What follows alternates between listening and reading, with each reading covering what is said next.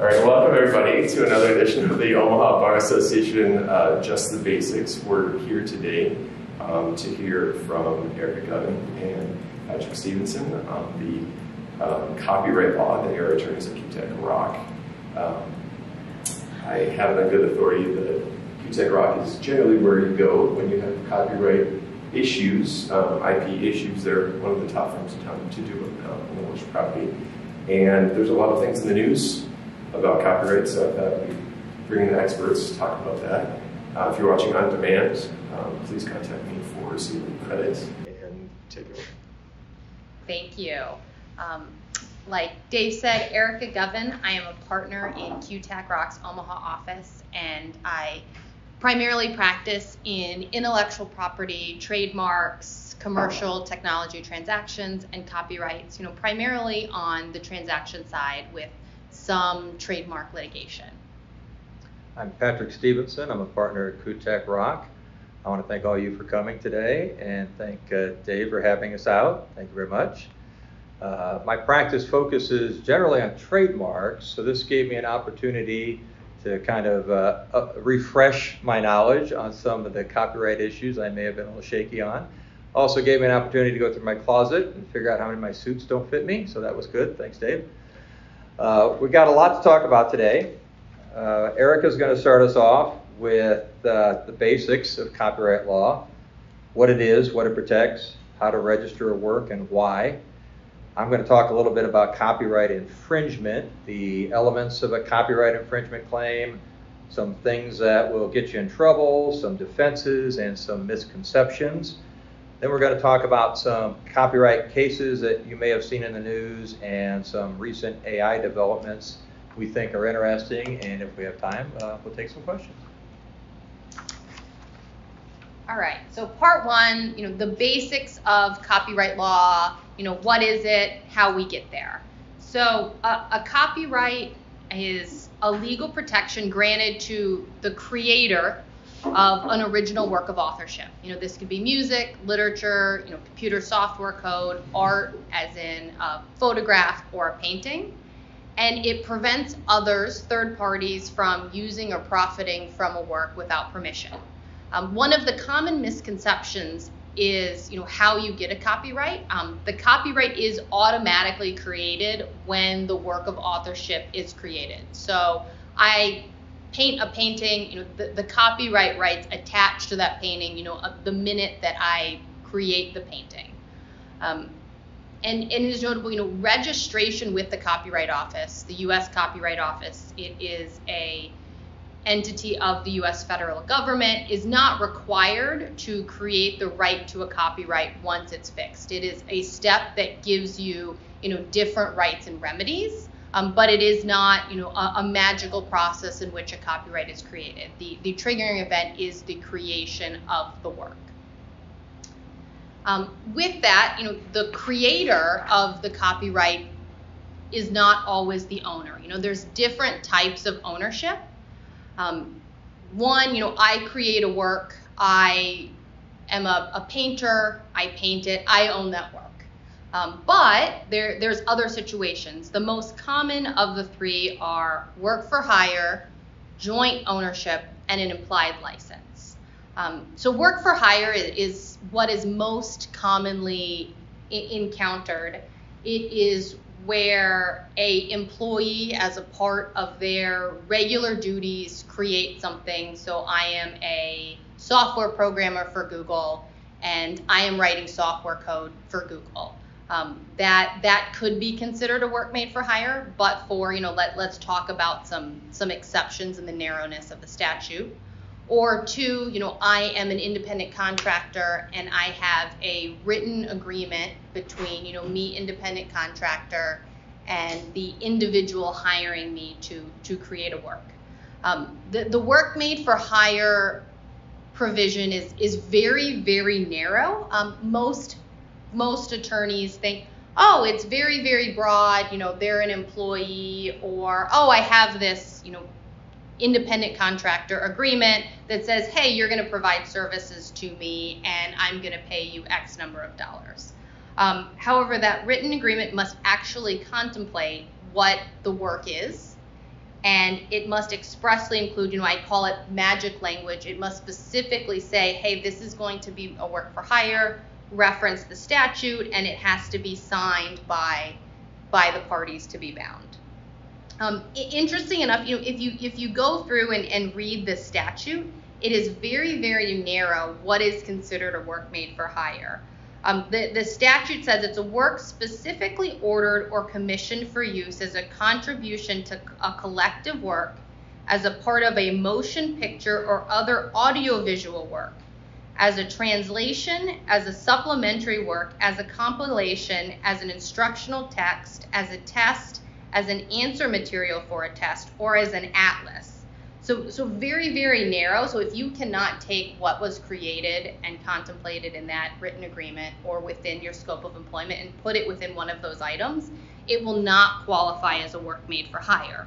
Um, so if it's not, okay, what do we do? Um, you need to have an assignment. So an assignment saying, hi, I am the author, I created X, I'm assigning, you know, if, anyone had, um, Tapley for civil procedure, he always called it the bundle of sticks. You know, I'm assigning part of my bundle of sticks of ownership to someone else.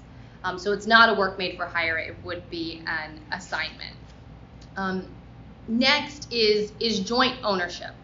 Um, joint ownership is tricky. You know, you're, you're kind of getting married with another author. Um, so each author has to create a substantial contribution to the work.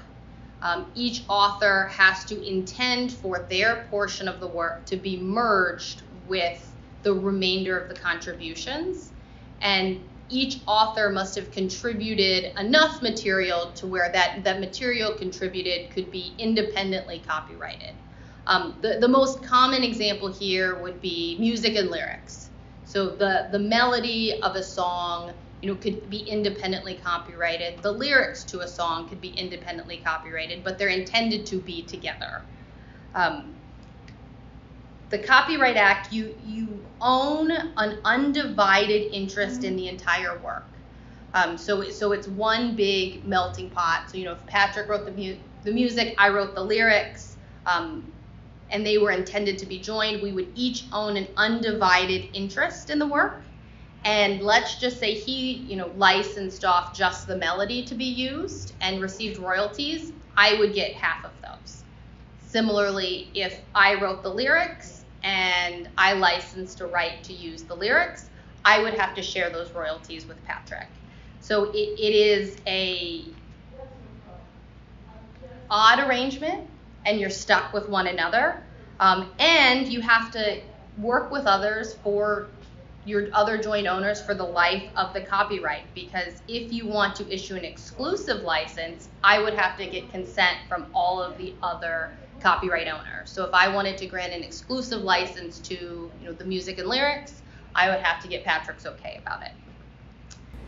Real quick, um, are each of the authors uh, permitted to um, uh, contract otherwise and agree otherwise that one of them has the rights to the lyrics and one of the rights has the rights to the melody, or it's just set in stone that they're they jointly own the two together and they're joined at the hip.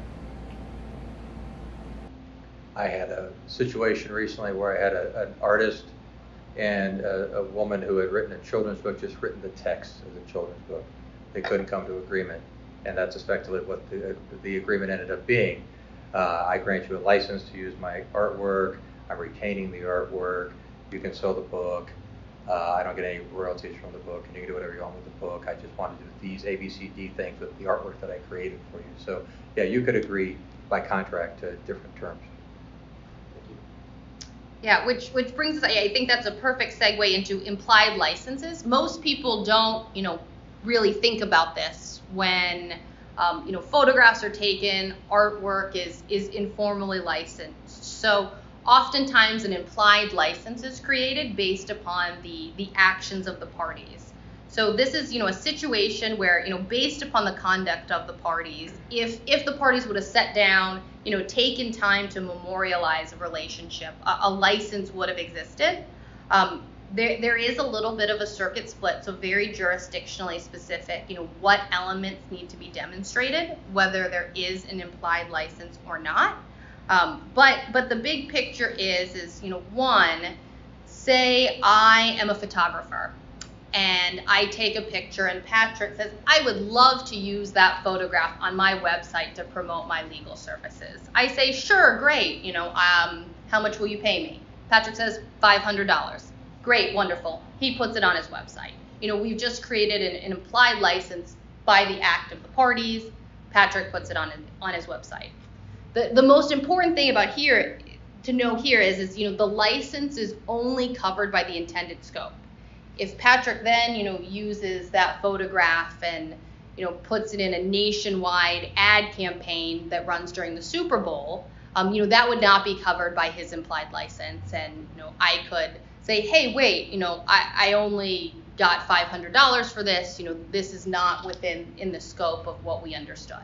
Um, you know, implied license cases are very, very fact based, um, and it, it is, you know, a different test for each circuit to determine, you know, what that implied license, you know, whether it existed and, and the terms of it. So like I said, you know, lots of examples of, of copyrights, you know, they can be, you know, literary works, pictorial works, sculptures, architectural works, so, you know, buildings, uh, musical works, motion pictures, songs, plays, and, and sound recordings. Um, one item to note, you know, did not include specifics into it, but the copyright statute does have a specific carve out for architectural works. You know, while you can have copyright protection over them. There's exceptions that allow, you know, for example, in movies, you have the New York skyline um, that you, you can't be subject to a copyright infringement suit because you're using the New York skyline and one of those buildings is subject to copyright protection. So there are some, some exceptions um, that are that are unique in, in architectural works, which for extra reading, um, if you would like to go back and look at that, it is it is pretty interesting. All right, why register a copyright? You know, like I said at the beginning, um, copyrights are created when the work is affixed. I put my brush to canvas and a, a copyright's created. Um, but registration creates different tools to protect your copyright. Um, without a registration, the owner of the copyrighted material can't file a lawsuit to enforce their rights to protect their copyrighted work. Um, two, you know, registering a copyright, you know, puts the world on notice. You can search the copyright office database for, you know, who who owns works. Um, and you know, within a certain time frame, you know, there there are some timelines to to get additional rights and remedies. Um, so, so the big ones, you know, you can file a lawsuit. Two, you can seek statutory damages, and at the discretion of the court, you can receive attorney's fees. Um, it, it was an open question until 2019 about, you know, whether or not you can file a lawsuit um, pre-registration uh, of a copyright. In 2019, the Supreme Court um, made this point clear that you you know needed to have a, a registration um, that that paper in your hand um, b- before filing a complaint. If not, you know you're going to be subject to a motion to dismiss, and, and your claim would be dismissed. Um, the fortunate thing is is that the Copyright Office, you know, most applications take about a month or two to process. Um, during COVID, the delay was significant, but in situations like these for about $800, you can have an expedited um, special handling. And every attempt is made by the Copyright Office to have your registration within five business days. So if you're in a situation to where you know you need to enforce your rights, um, you can easily fill out a form online at the Copyright Office, request special special handling, a king's ransom of about $800, but you will get your registration via via email. Yes. So, for example, if the copyright itself was created 20 years ago, but it wasn't registered until this year, could you retroactively sue for infringement for the time that it wasn't actually registered, or does the infringing action have to be from the point of registration onward? Can we put a pin in that? We are going to we are going to discuss that. Um, so what rights, you know, you, you have a copyright, you know, what rights do you have? Um, you have the right to reproduce it. Um, you have the right to prepare derivative works based upon it. You know, you have rights to distribute, you know, assign ownership. You have the right to license it.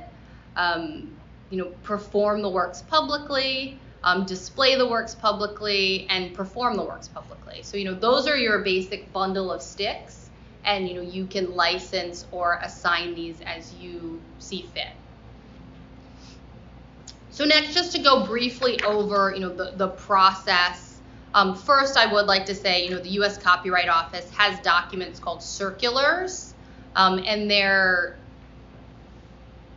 three to five page explanatory instruction documents that, that are great walking you know, attorneys and, and individuals filing pro se about, you know, how to select the right forms and, and file a copyright application. Um, so you can file online or in the mail.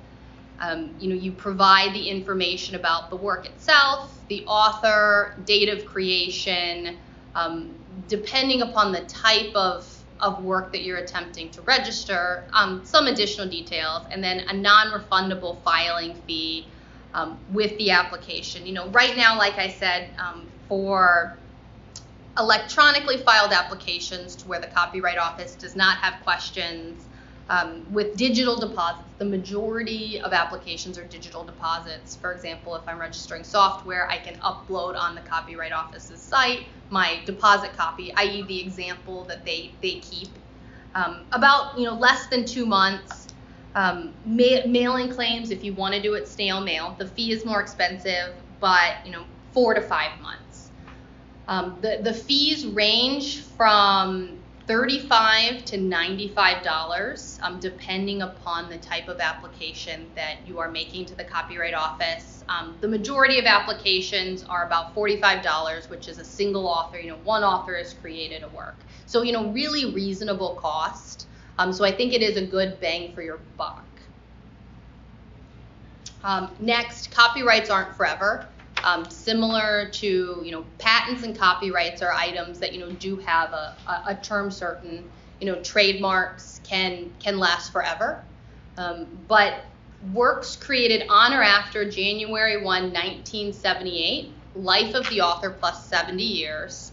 Um, works made for hire and anonymous works, 95 years from publication or 125 years from creation, whichever is less. So you know, while while it is a term certain, it is a long term certain. So hopefully, you know, my six year old creates a prolific drawing and I can get a significant amount of protection out of it. So that takes us to part two, um, introduction to copyright infringement, and I will pass it over to Patrick. Thank you. So on the topic of what is copyright infringement, it's, a, it's fairly simple but somewhat complicated. Uh, the simple part is an infringement occurs when somebody violates the exclusive rights of a copyright holder. Those are the exclusive rights that Erica was talking about earlier. Uh, you take somebody else's work and you copy it, distribute it, perform it, display it, or create a derivative work without permission. Those are all infringements of somebody's copyright. Uh, a derivative work, I don't think we touched on that. A derivative work um, is, is a work based on or derived from one or more pre-existing works. So by way of example, a movie that was based on a book, that would be a derivative work. Um,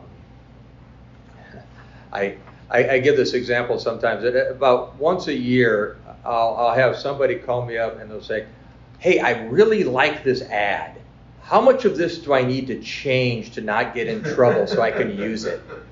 I, I think they've just pretty much per se created a derivative work. Uh, but, but, anyways, I pass that along. Uh, examples of copyright infringement. Uh, using copyrighted music or video without a license.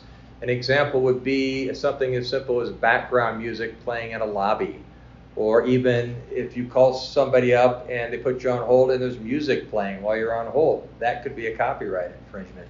And, and if you're engaged in activities like that, you may end up hearing from uh, BMI or ASCAP, which are music licensing entities. And uh, their goal in life is to get every bar, restaurant, uh, wedding venue, and any other business that might play music to sign a license.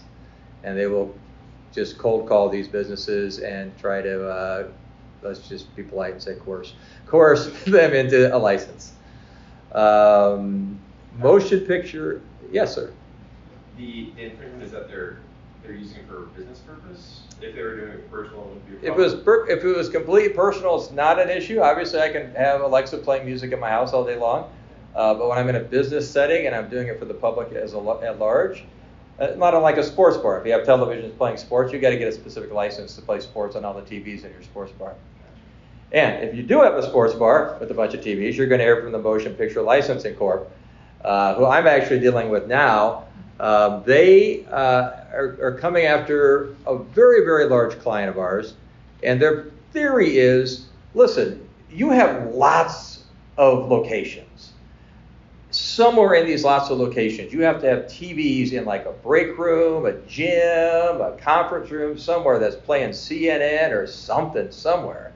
And that's basically how they try to get their foot in the door and, again, try to politely threaten you into signing a license agreement. So, in this particular case, my client actually has a tremendous amount of uh, homegrown content that they play on all these televisions. So, I don't think we actually have a problem. Um, Another example, reproducing written or graphic content without permission. An example of that would be if you print an online article to PDF and then you blast it out to your clients. That's a copyright infringement. You don't have permission to make that copy and to distribute it in that manner. If you want to uh, alert your clients to an article, send them a link. Uh, don't send the actual copy. And if you do send copies like that, this is what the Copyright Clearance Center is for. Uh, another entity that will chase after uh, large companies on the theory that somebody someplace in your organization must be making illicit copies of uh, articles or web pages or something, so you need a license. And the, the last example I have here is uh, adapting artwork for commercial purposes without the artist's consent. And this is actually the thing that comes up most often. Uh, typically, in the context of some marketing person finds a photograph online they really like and they copy, save, paste onto the website, onto social media, whatever. And then the artist, who is, you know, out of curiosity or deliberately as a part of a pattern of conduct, uh, searching the internet for their photographs, uh, will find this infringement and then send a demand letter. And you may get a demand letter from uh, somebody like AP Images or Getty Images.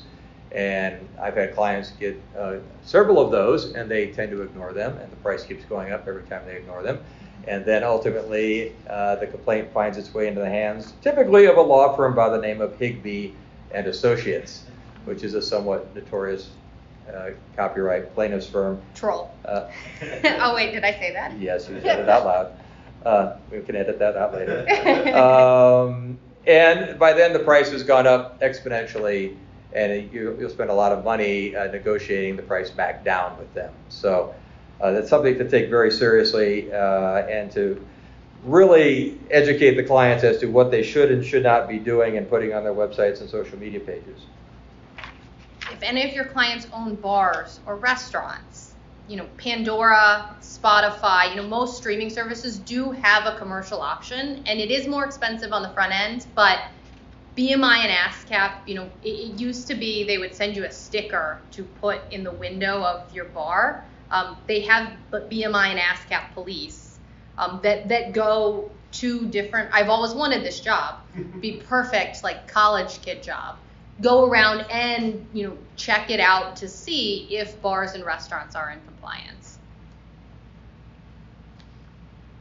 Uh, elements of a copyright infringement claim. Uh, the first is that a valid copyright exists. Uh, second, the defendant copied the work without authorization. Now, I want to point out the word copied because the copy, the word copied suggests that I actually saw your work and I affirmatively did something to copy your work. Compare that to trademarks and patents. Trademarks and patents do not have any room for uh, coincidental similarities. Copyright law does. Two people could create something that, that is very similar, but coincidentally so, and there will be no liability. Patents and trademarks, if you've got two trademarks that are very, very similar and it's confusing the public, it doesn't matter if it was a pure coincidence. You're still liable for trademark infringement. The third factor is that the infringing work is substantially similar to the protected work. And again, compare it to the, the test in copyright law, which is uh, confusingly similar. The public is being confused by these similarities. In the copyright context, nobody needs to be confused. It just needs to be uh, a substantially similar work.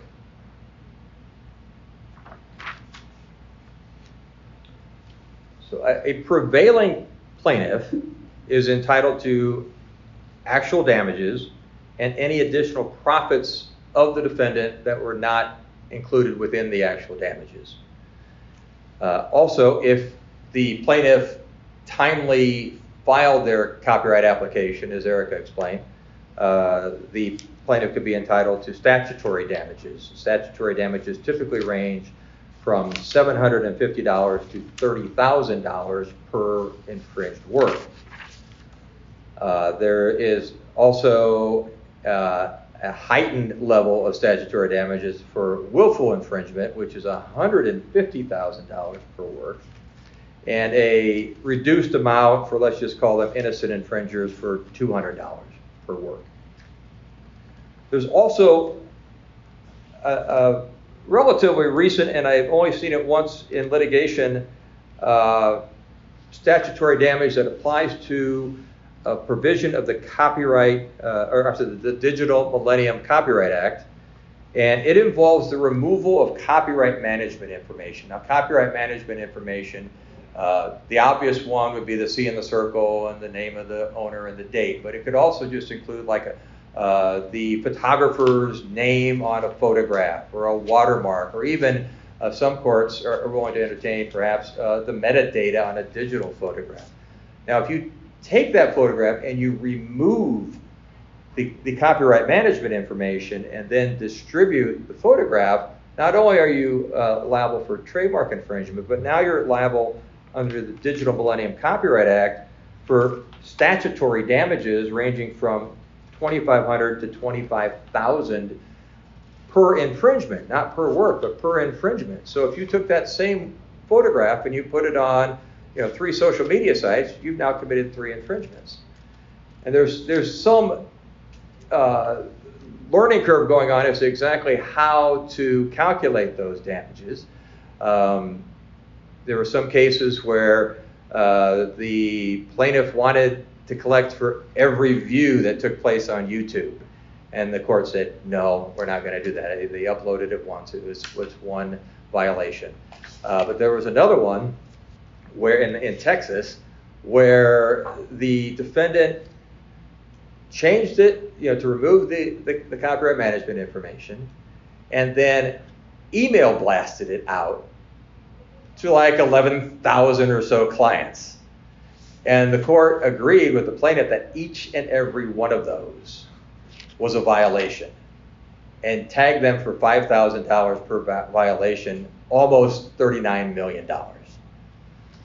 So this is a real serious infringement, and your clients should be aware of this sort of thing. Never, never, never remove the copyright notice of somebody's work. Um, and then to answer the specific question about damages, so uh, on this slide, so timely filing, um, you you have a three month period from the the publication date. So you know when it is publicly available, which that's high you know highly technical and, and highly you know lit- litigated. You know when that publication date was, but you know you have three months, and if if you register within that three month period your registration relates back to that date of publication. You also have, you know, we don't have time to go into it today. You know, there are there are pre-registration options um, that that you have before publication as well. Um, but but it's a three-month period, you know, a, a window, you know, grace period um, to to register your work, and it makes it much easier for you know post-publication to you know, get actual damages, like Patrick said, or you know, stat, you know, statutory damages. Um, with without that registration, I don't believe you can look back and and collect collect damages. You only can collect damages for you know that infringement post registration. The, the statutory and uh, statutory damages and attorneys. Correct. Yeah. I, I will note that the, the DMCA statutory damages actually do not require that prior registration. Those can be assessed regardless of whether the violations commenced before registration. All right. Some copyright infringement defenses. Uh, obviously, no substantial similarity. Um, proof of independent creation. Uh, I mean, the proof of independent creation, that goes back to what I was uh, explaining earlier, how two works could be substantially similar, but if I created mine independently, I'm not going to be liable for copyright infringement. Uh, just um, by way of example, if, if I asked everybody in the room to write down the rules of baseball, they're relatively simple rules, and I imagine that our narratives would be substantially similar to each other. But since nobody presumably looked over each other's shoulder and copied, there's not going to be any liability. There's not going to be any copyright infringements. Uh, the statute of limitations, it's uh, three years from the date the copyright holder discovered or with due diligence should have discovered the infringement. So to your question about the 20 years, if it was going on for 20 years, I probably should have known about it, and perhaps the statute of limitations has run on that. Uh, there's two more uh, that we're going to discuss with different slides here. We got fair use and public domain. Public domain, um, I, I, used to use my, my teenage son as the example on this, but I've actually heard. Go ahead. Sorry. So if the statute of limitations yeah. has passed, does that turn it into kind of like an implied license? I don't know that I would say there's any license. I think that it's just they have the right to do it. I mean, okay. a license would imply that you're you have at least some contractual control over their use, and there's some parameters drawn around their use. But if they've been doing it and you you've blown your opportunity to complain about it, I, I think I, I, think it's a waiver thing. They, they, can do whatever they want with it. Yeah. Okay. Yeah. Oh, so that public domain. So, like I said, I, I used to uh, use my teenage son as the example here, but I've actually heard grown adults say this, and I, so I have to state the internet is not the public domain. What? I know, it's shocking. So I, I, I, genuinely had people say to me, "Well, I, I, got that off the internet. That's a public domain, right? I can I can use it." No, it doesn't work like that. The public domain is actually a very narrow subset of, of works that exist. You got works that are not copyrightable, which is you know ideas themselves are not copyrightable uh, processes, systems, titles, short phrases, and slogans, and some other types of things are not inherently protectable under copyright law. Then you have works that have been, have been assigned to the public domain. Doesn't happen a lot, but you see it now and again. Some author, some prolific author might decide, you know what, I want everybody to have access to my works. I'm, you know, on death's door or whatever, so I relinquish my copyright, and the public now has free access to my works. Uh, and then the final one is uh, works for which copyrights have expired. But as Erica indicated, copyright protection is really long. So if you're finding it on the internet, it is probably owned by somebody and protected by copyright law, and you should probably not just willy nilly use it. One note there I mean, I think the Bible is the classic example. However, you have to be careful um, because certain translations of the Bible still may be subject to copyright. And um, I'll just add something from our medical legal dinner that I was mentioning earlier. Um, so there are news publications in the state of Nebraska and around the country now that they don't have copyright on what they do. So Nebraska Examiner, a Flatwater Free Press, they their articles are for anybody free to use. You see them in the Daily Record. It, it's a it's a nonprofit uh, newspaper outlet, and so they actually give up their copyright, and they have nonprofit status because of that. Yeah. In the college textbook campus, open text is becoming very, very popular to try to to break up the the cartel of, of textbook companies. You know, certain professors have written textbooks similarly and said, hey, you know, here here's a textbook that everyone can reference um, free of charge. So, one thing I mentioned was that uh, copyright law does not protect ideas. Um, and the, thing a lot of people like to say about it is it doesn't protect ideas, it, it protects the expression of ideas. So I might have an idea for a movie where uh, two cops with completely different personalities are forced to be partners, and then they discover a plot, and then they uh, get come together and and fight crime and solve the case and come to respect each other by the end of the day. You know, well, that's a great idea, but I don't own that idea. I don't own it until it becomes, you know, uh, Bad Boys, you know, or or Rush Hour. Or Rush Hour, yeah, exactly. Turner and Hooch, is that a, no? It's a dog. Right? it's that, that's not a good example. But anyways, you get the idea. I mean, I can come up with ideas all day, but until I turn them into something, a script, uh, or even just you know an outline, I, I don't really have anything. And even if I have an outline, I don't necessarily own that idea still. I just own what I put down on paper as the outline. So that's what I mean by you don't own ideas under copyright law. Clients don't understand that a lot. I have many calls. I have an idea I'd like to copyright. No, you no. don't.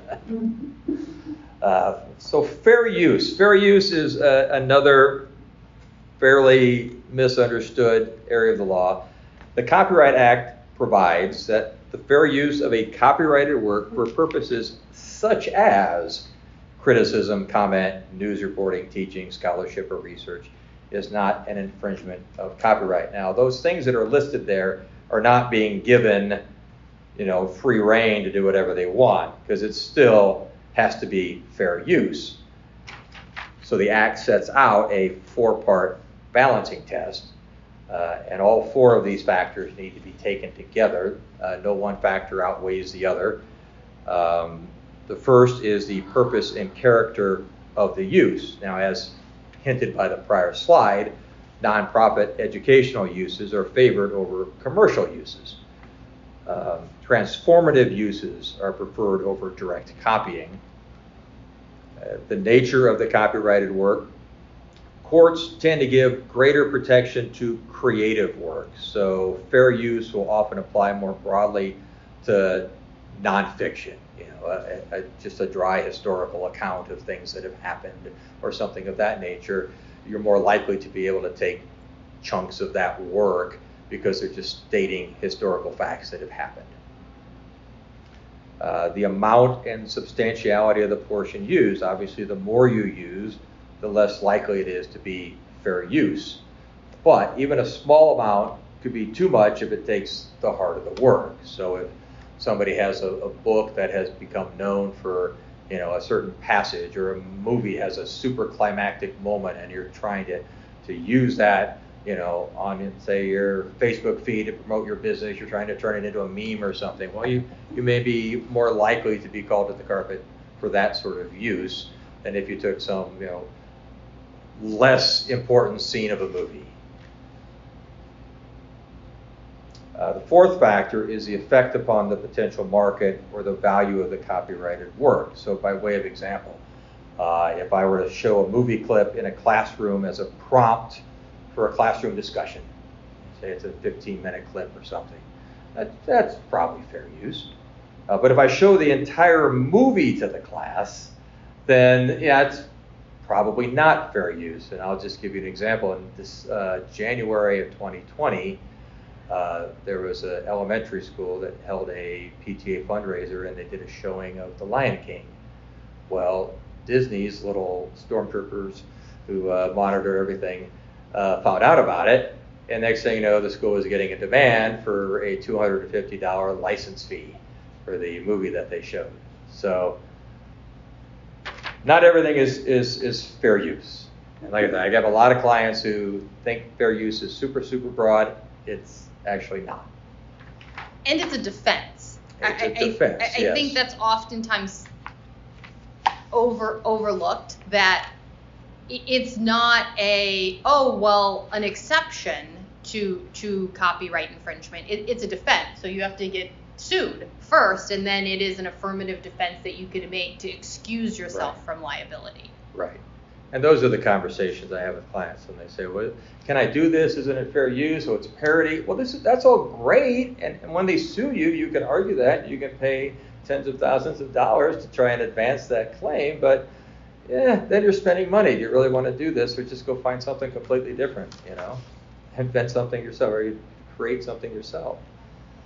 Uh, I don't have a, a slide for this last one because, in all candor, I, I, I thought of it this morning.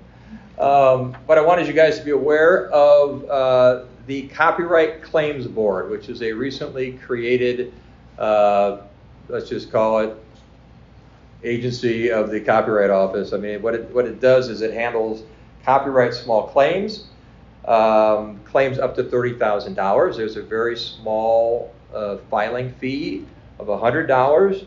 I will say uh, it's somewhat voluntary between the parties insofar as uh, I can bring a claim against you, but you have 60 days to opt out and say, nah, I don't want to. I don't want to do that there. Uh, but if, if the parties want to do it there, uh, there is a, a three-person panel. They'll look at the claim. They'll render a judgment. Uh, if you don't like it, you can appeal the judgment to a district court. Otherwise, it's a binding judgment against you, and the uh, the plaintiff, if they lose, cannot go turn around and then bring that claim later somewhere else.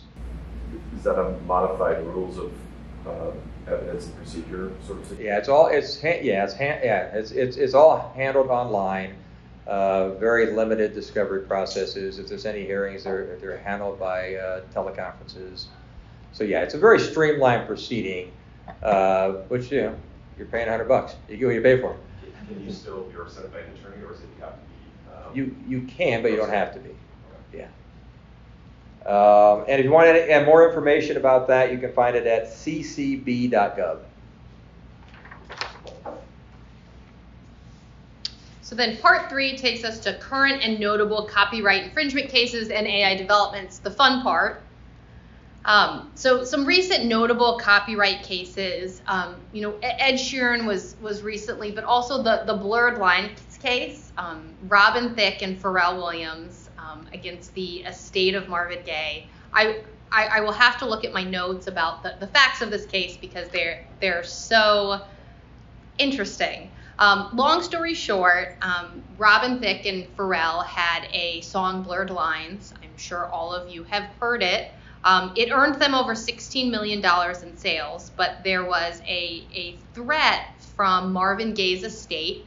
Reminder from the beginning of the presentation, you know, even though Marvin Gaye has since passed away, you know, the, the copyright survived, um, sur- survived and the estate was responsible for enforcing rights.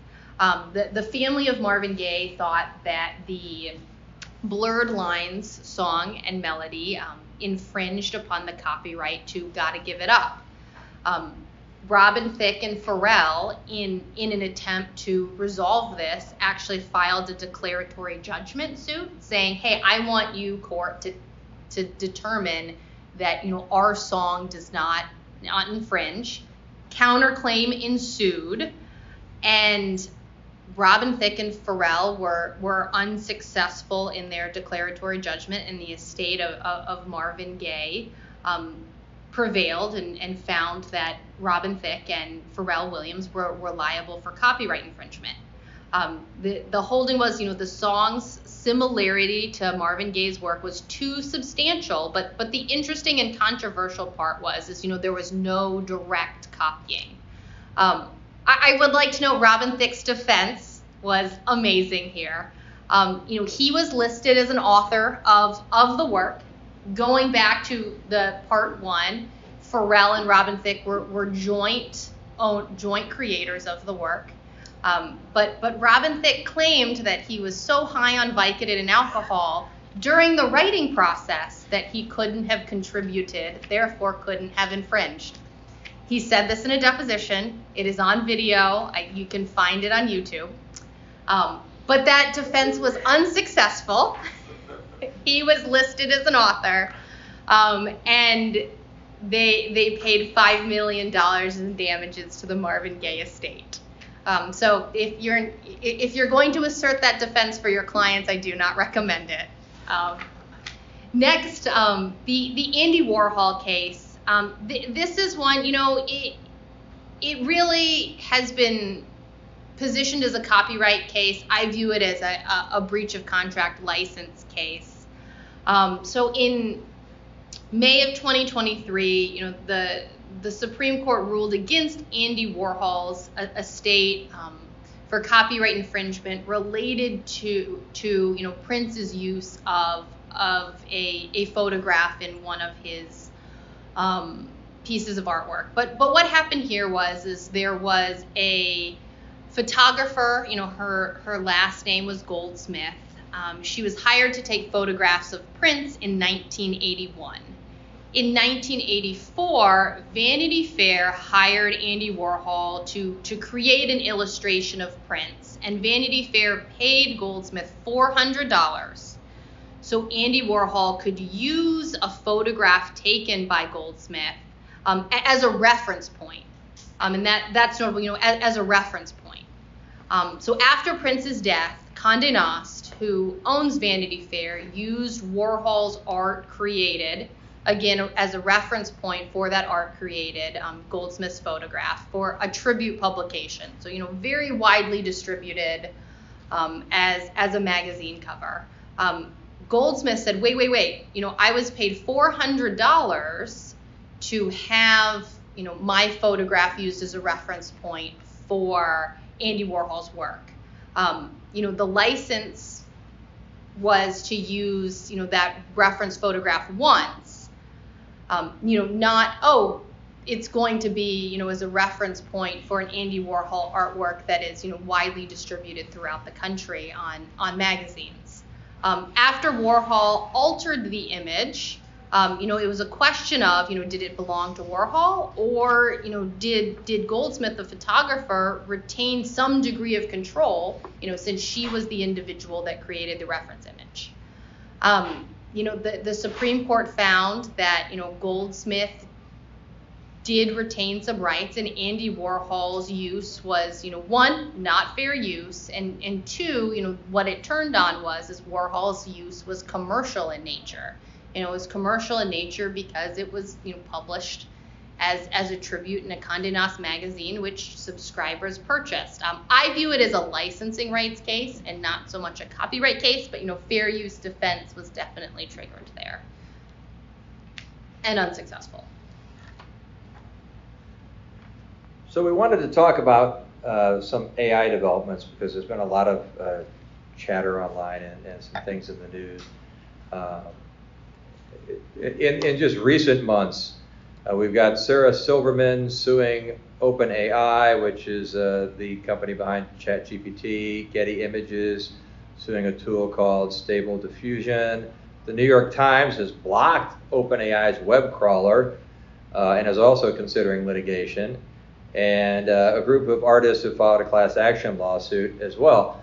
Uh, the complaints here are, are twofold. Uh, one is that AI is going out to the internet and copying an enormous amount of copyrighted content. And they're taking this content and storing it and using it to basically educate its AI and make the AI smarter and, and more efficient. Um, but they're doing all of this without anybody's permission. So the, the argument is, hey, you've copied my work, and we don't feel that that is fair use. Uh, the second complaint is that the work product that comes out the back end of the AI um, is either substantially similar in some cases, and there have been cases where uh, the work product you'll see like Shutterstock's logo all scrambled up, and it's clear that the image was a Shutterstock logo, and it's just the end product being spit out of ChatGPT is, is, is re- reflective of the fact that this is still a, uh, an image that's a derivative work on somebody else's photograph. So those are the, the main complaints that uh, you're creating derivative works with, with my work without my permission. You're using my work, copying my work for a purpose that wasn't authorized. And so it'll be interesting to see how all these lawsuits play out in the, in the, in the coming years here. Um, the next slide I thought was really interesting. This image was created by a computer system called Creativity Machine. It's owned by uh, the, the Creativity Machine is owned by an individual named Stephen Thaler. So Mr. Thaler submitted an application to the Copyright Office to try to register this image. And in his application, he stated clearly that uh, the image was autonomously created by a computer algorithm running on a machine. And he said that it was a work for hire to the owner of Creativity Machine, which was him. So he was trying to be the copyright claimant for something created by AI that he felt was a work for hire to his benefit. The Copyright Office refused registration because the work lacked the human authorship necessary to support a copyright claim. And he appealed that. Go ahead. Oh, go ahead. Uh, no. So he appealed that within the Copyright Office, uh, submitted requests for reconsideration. They were denied. He went to uh, federal court, and the U.S. District Court for the District of Columbia agreed with the Copyright Office and dismissed his case on summary judgment. So this is important uh, for a variety of reasons, and for us as lawyers, important because imagine the situation where you've got a, a client who is engaging in a contract. They want to enter into a contract with somebody who's going to create some sort of IP for them. Is it software? It could be an ad campaign. It could be anything that might be protectable under copyright law.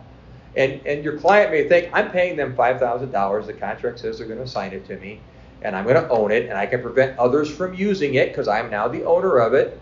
And then you find out, oh no, I, I used Chat GPT to make that. There's no copyright on that. You don't own that.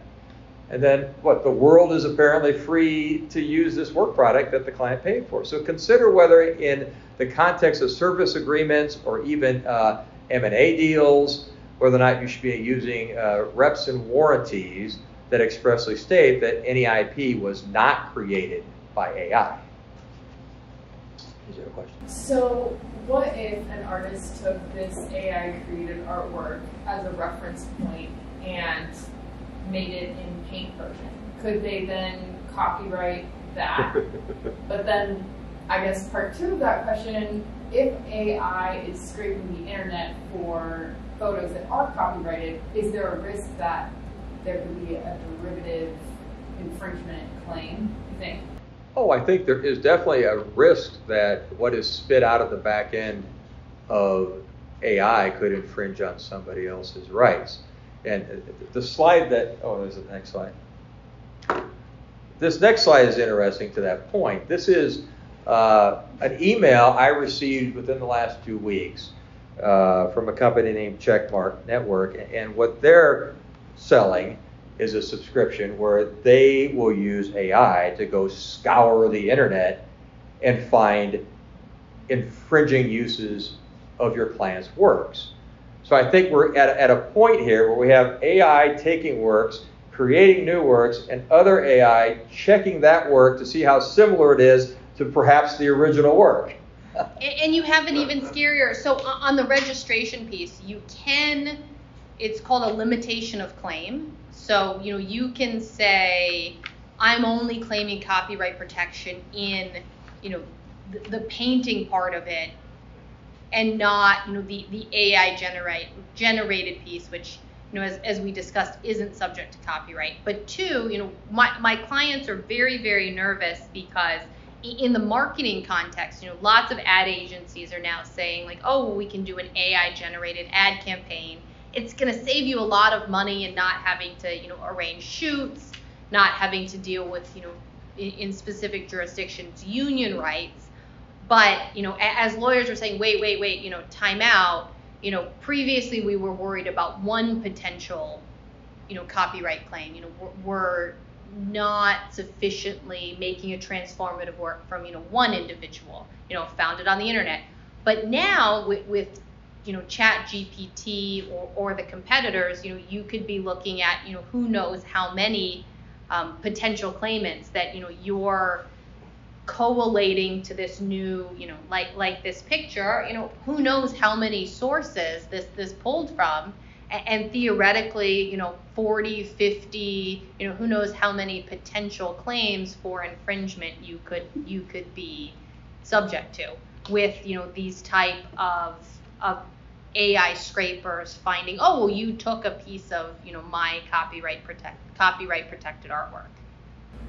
So one question back on the picture. So was there actually text direction on how to make this picture that was done by a human, done by Stephen Thaler or somebody that used Stephen Thaler's, obviously, like somebody gave it direction or did just say, Presume, I, I will candidly tell you, I can't answer that exact question. I presumably he did give it some sort of direction, and then as a result of that direction, that is what what happened. Um, but Which the copyrightability You of the, the prompt itself, I think, is a whole separate yeah, I, I, yeah, I- yeah, I don't think you can really say because I said, you know, give me a picture of a, you know, whatever that may be, uh, you know, a garden. Uh, I don't think he could possibly claim copyright in the end result because of that. I think it's still all he did was point it in the right direction, and the actual work was created uh, by the, the the AI itself. So that concludes the copyright portion. I, I know in the agenda there was a reference to the Jack Daniels VIP products case, the Bad Spaniels. And Um, understand that it's trademark. But it's still a very, very interesting case, so we've added it as a bonus slide, but, you know, maybe we handle, I know we're over, technically over time, maybe we handle copyright questions first, and then I think we're glad to, okay, well, we have three minutes for questions. It's Um, a fun case. It is a fun, we can talk about, we can talk about Bad Spaniels. so, uh, Bad Spaniels. There's a company called VIP Products. VIP Products makes squeaky dog toys, and they made a squeaky dog toy shaped like a Jack Daniels bottle. And instead of Jack Daniels, it says Bad Spaniels.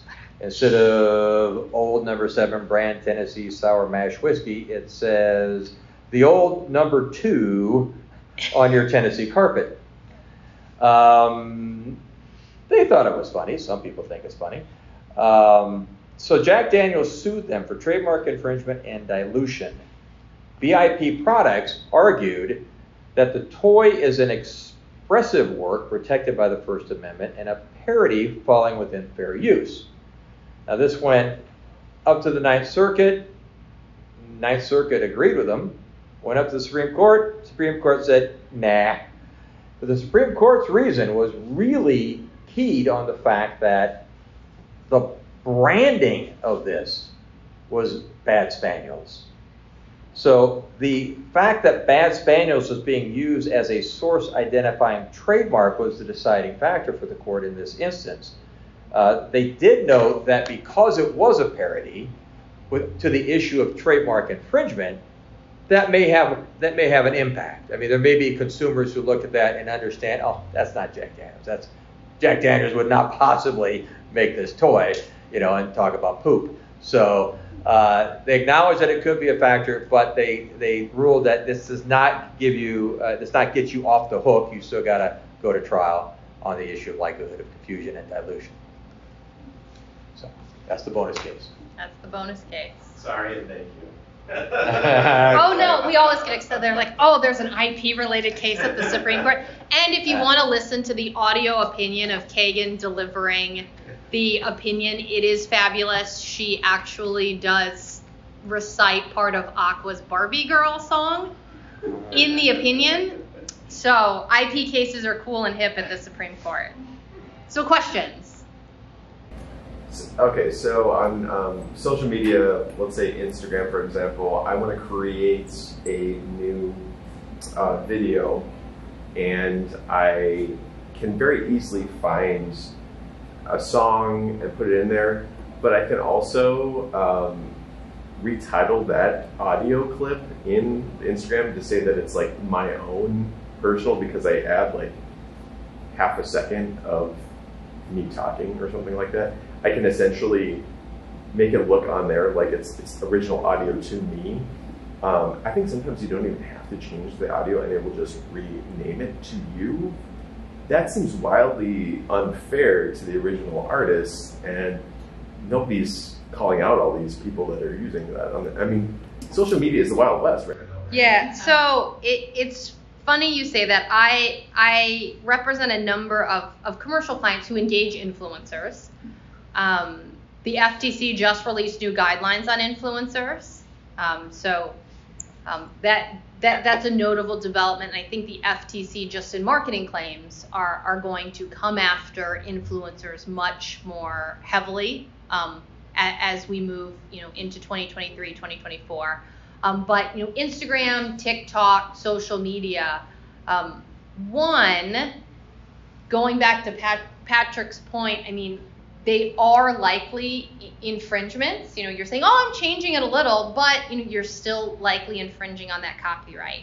However, you know, TikTok, Instagram, a, a lot of these platforms do have, you know, voiceovers and music that are a part of, you know, there, there's different terms of each of them, but you know, basically, you know, rights buyout, you know, libraries to where you know, as on that platform, you know, you can you can use them. Instagram or TikTok has you know purchased the rights for for sharing on those platforms. But you know, it, especially if you're a large corporation, um, you you have to be very very care, careful. You know, BMI, ASCAP, um, you know, the, the creators of that music will will likely you know come after you, especially if you're selling your product. You know, using your you know, using that, that social media platform to, to promote your product.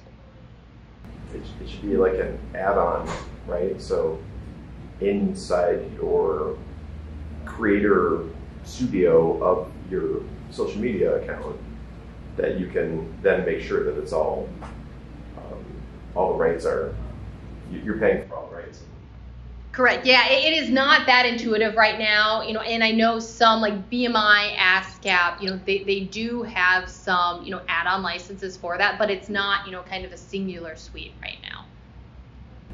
You know, if I'm on YouTube and I try to post something, they will take it down within 30 seconds. Um, they're very good on YouTube to take it down, but it doesn't seem like that on Instagram or this is why I haven't gotten my influencing career off the ground yet. Oh. I have too much fear about the IP ramifications, among other things, but.